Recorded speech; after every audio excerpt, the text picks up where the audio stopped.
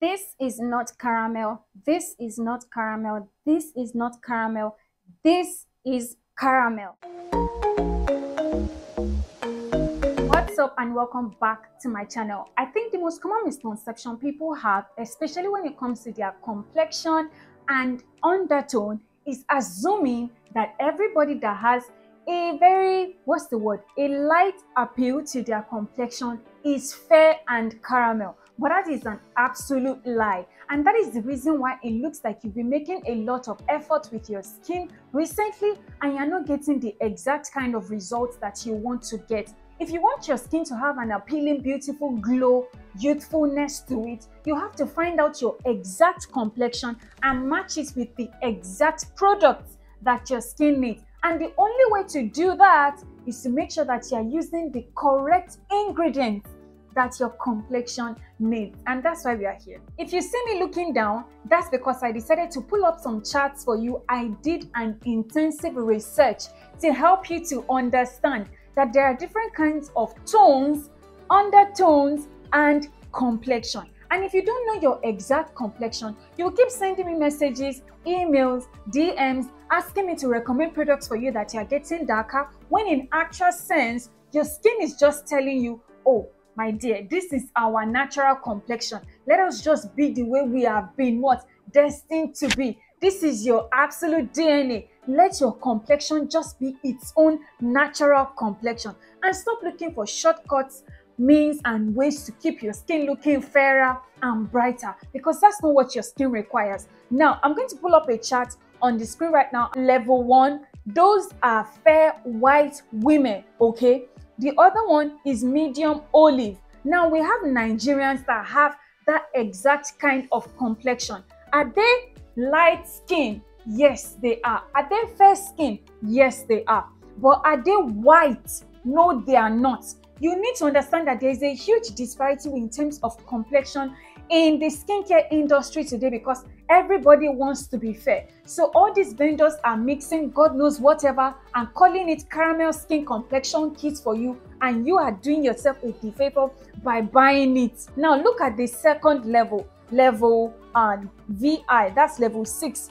This person in terms of complexion and undertone is caramel, okay? And honestly to some people, I am caramel. Your undertone is going to determine the foundation shade you use, the powder you buy, the blush you use, the lipstick you use, everything that has to do with allowing your makeup to look absolutely flawless on you depends on your undertone. When it comes to your complexion, you need to know it because that is what will require and that is what will determine the kind of products that you are going to buy the ingredient list to look out for in those products and the kind of expectation that you should have with these products because I am sick and tired of people sending me messages telling me that they are darker when you eventually send me the picture. Sis is not even as fair as my sister, and my sis is caramel, and you're calling yourself caramel complexion. No, you are not. I hate to be the bearer of bad news, but you need to understand that your complexion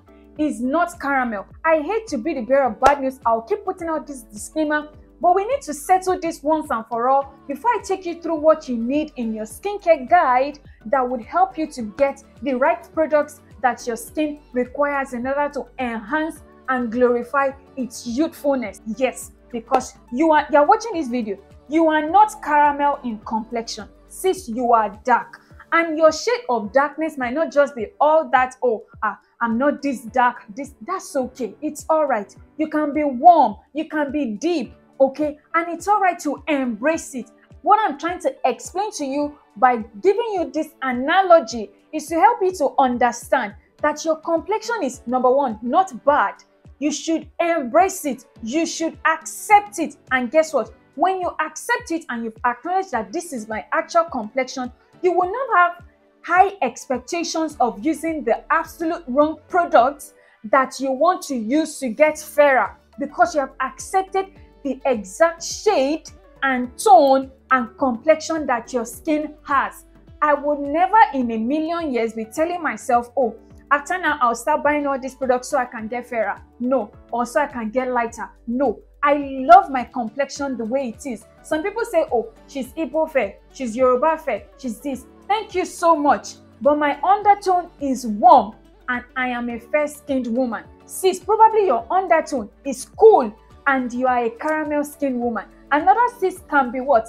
Dark and you are a cool undertoned uh, woman. It is important for you to know all these things. If you guys want me to dive more into all these things so that you can start knowing the exact um, makeup shades to look out for, foundation shade, blush shade, lipstick shade, let me know in the comment section. I enjoy doing all these things because I get confused with some of your messages sometimes because it's a lot.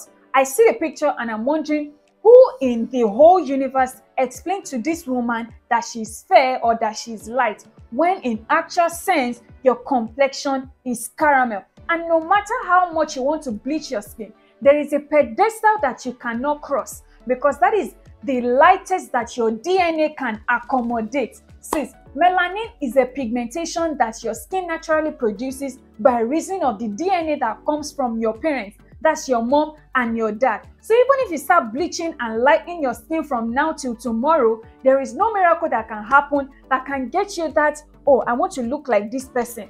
It's not going to happen. Even if it does happen, you will not be able to maintain it because that's not your skin's original color. Let's talk about the ingredients to look out for in skincare products now that we understand who is caramel, who is light, who is fair, and who is white in complexion. We have ascertained all that, and I also gave you guys a summary on how to look for undertones to be sure of the undertone that you are, okay? But now we need to focus on the ingredients you need to be looking out for. Let me tell you the truth, sis. The reason why manufacturers keep selling products and people are buying it blindly is because they don't know how to look at ingredient lists.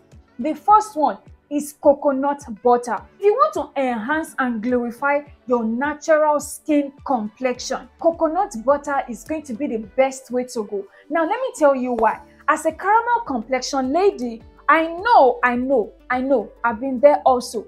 I don't want the sun to come on my complexion and get me darker than my actual true shade, the complexion that I currently have. So guess what? Looking out for ingredients that offer sun protection benefits. Listen to me, sun protection benefits is going to be what you need to be looking out for now. And coconut butter is number one on that list. Scientists and dermatologists have researched coconut butter to offer a lot of sun protection benefits to the skin. So if you are looking for body wash, body gel, pre-cleanse soap, body oils, coconut butter is the way to go. I even use coconut butter personally because I love how it just makes the skin feel soft, pampered, and how it protects the skin from the sun. The second one is argan oil. This product helps to what? Maintain the complexion, soften it, and also preserve your skin's natural elasticity. If you want your skin to stay youthful, glowy, beautiful for a long period of time, you need to look out look out for ingredients like argan oil either in your body wash, in your soap, in your body lotion because those are the ingredients that would enhance your skin's natural caramel complexion. The third one is berry extract. I'm talking mulberry, blueberry, uh, raspberry, strawberries. Berries are very, very good for protecting the skin, for enhancing skin's elasticity, for um, helping your skin to stay youthful and they now offer mild skin brightening benefits. That's why you see a lot of manufacturers adding mulberry berry berry extract into skincare products because it helps to maintain the skin's complexion. It also helps to soften the skin. It also helps to pamper the skin. Sometimes the scent, the natural extract scent of berries in soaps, in body lotion, is just very, very tantalizing to the senses. The fourth one is mango butter. Now, a lot of people associate mango butter as the butter that oh, is for fair skin person. No, mango butter has skin softening properties that would allow your skin to be visibly soft. Have you seen somebody outside and you're wondering how is this person's skin just looking so good? And it looks when you ask them, they tell you, Oh, I use body butter and I just use this body lotion. And you're wondering, this simple thing is what is making your skin glow like this. That's because they are using the exact ingredients that their skin complexion needs. And that's what you need to be doing after you have watched this video now. Mango butter is going to soften your skin. It also has mild brightening benefits, okay? It's not going to make you light skin. You're not going to be fair, but it is going to maintain that natural sweet caramel complexion that you currently have. The last one, or should I say the second to the last, is vitamin C. And vitamin C comes as an antioxidant that protects the skin from free radicals and inflammation. It is used more for that for you than for you to be expecting vitamin C to continue to brighten your skin, give your skin this light, bright complexion that you want. No, no, no, no. See vitamin C as an additive that brings a lot of um, protection from free radicals and inflammation to your skin rather than as a skin brightening agent that you want your skin to start receiving. And see, caramel complexion should not be using papaya infused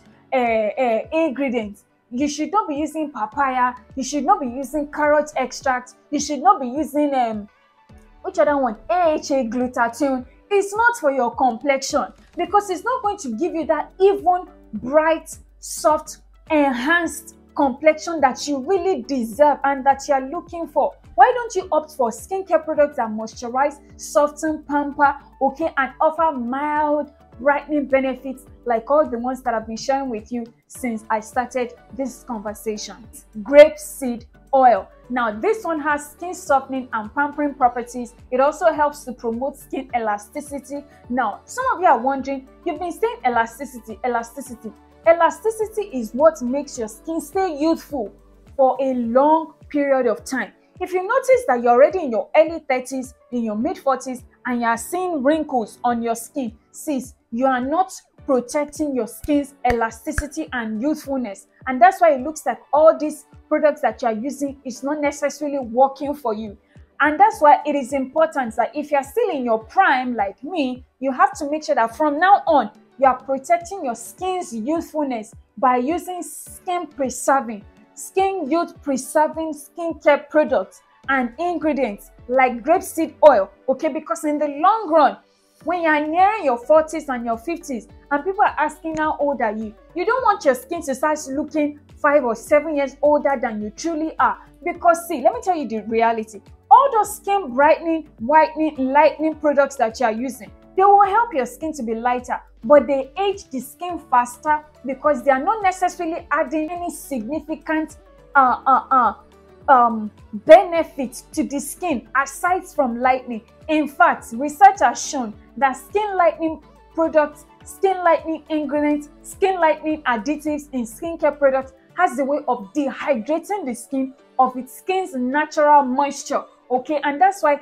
if you use skin lightening products for a long period of time, for as long as 10 15 years, your skin will start to have natural wrinkles on it, and you'll be wondering, oh, but I'm trying my best and it's not really working out. Now, if you ask me, let me group everything that I've just said now and summarize it for you into a normal body care routine that you would understand. So, for body care, we have pre cleanse soap, we have body wash, we have body lotion, and then lastly, we have body oil. For body lotion, for body oil, for body washes, and for pre cleanse, there are certain brands. For your pre cleanse soap, you can use Dove, you can use St. Ives, they have beautiful ranges. Just look out for all these ingredients that I've mentioned to you. For your body wash, you can use palm olive honey. I used it in the past. I can't find it again. I honestly have been trying to look for it again when I was making research for this particular uh, content. But even at the store, they don't really stock it up. I don't know why. Palm olive is a good brand. Dove is a good brand. Um, which other one? I know Nivea does body washes too, but look out for the ingredient list. Now, for body lotion, Nivea Perfect and Radiant with berry extract is the way to go if your skin is caramel. Alright, Jergens, they have a lot of skincare products with most of all these ingredients that I've just mentioned to you. Now, for your body oil, argan oil, grapeseed oil, mango butter, coconut butter are the options that you have. Stop deceiving yourself and opting for carrots anything with papaya because you are trying to be fair when your natural complexion is not fair. I hope you guys enjoyed today's video. Let me know your thoughts in the comment section, okay? Everything that I've just said will be summarized in the description bar your thoughts in the comment section. Ask me questions. I'll try my best to go through as much as I can. And I will see you in the very next one.